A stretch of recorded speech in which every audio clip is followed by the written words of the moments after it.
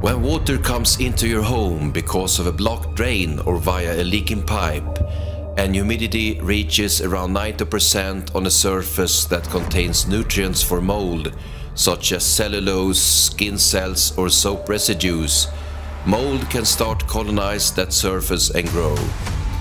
When toxic molds such as black mold grow, toxins like the trichothecenes and the ochratoxins are released into the air. These toxins are rapidly absorbed into your walls, ceiling and floor in your home, as well as the furniture, decorations, your clothes, your cell phone, your skin and hair. This presents a very serious risk to your health.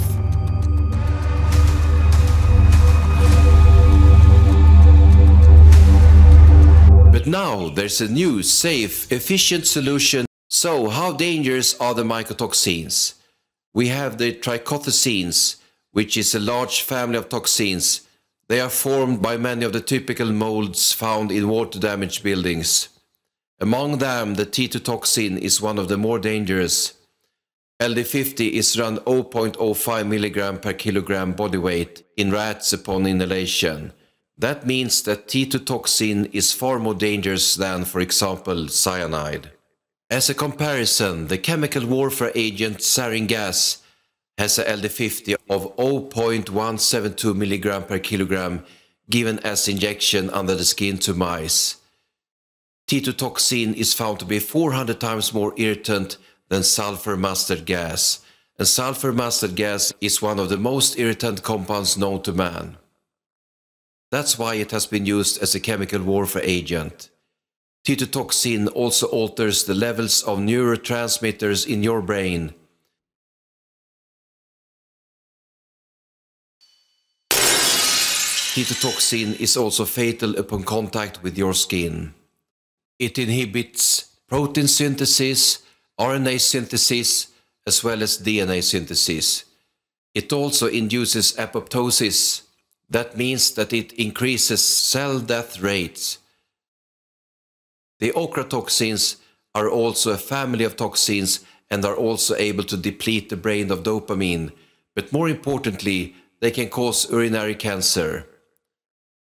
Ochratoxin A, the most toxic ochratoxin, is much less potent than the T2 toxin and has a LD50 of 20 to 25 milligram per kilogram. It is also toxic for the kidneys. Symptoms from mycotoxin poisoning are brain fog, memory loss, loss of balance. Sorry, sorry. Stop a moment. Yeah, I want to talk about my own story with with mold. I lived in a water damaged building for more than 10 years. And I had all these symptoms and uh, even more symptoms than that.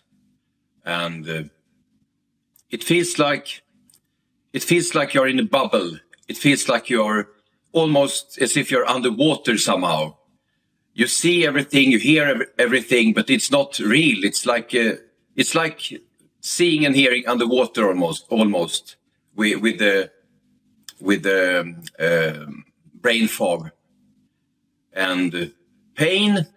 You you step on things and you bump into things and you drop things and and when you hit something when something when you hurt yourself it, it feels 10 times worse th than than normally it, it hurts so bad it's terrible it's really terrible and you, I forgot what day it was. I forgot what month it was.